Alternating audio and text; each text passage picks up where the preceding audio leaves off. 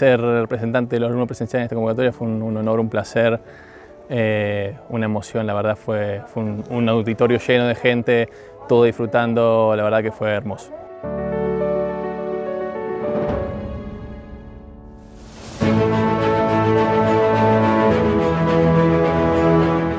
Este año en Madrid ha sido espectacular, uno de los mejores años de mi vida. Eh, me ha hecho crecer como persona, crecer profesionalmente, la oportunidad del máster me ha ayudado a encontrar un trabajo maravilloso.